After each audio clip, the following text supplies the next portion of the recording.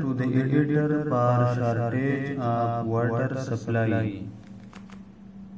Sender name, address, date. To the editor, name of newspaper, subject.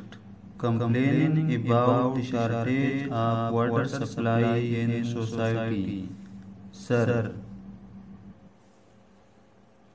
through your elite newspaper, I would like to draw attention of concerned authorities about the shortage of water supply in our society. Our society has been facing this problem from the past four months. Our society is not receiving the basic need that is water supply. People buy drinking water from shops.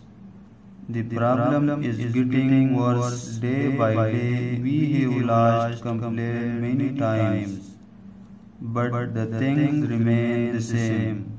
Kindly help the residents.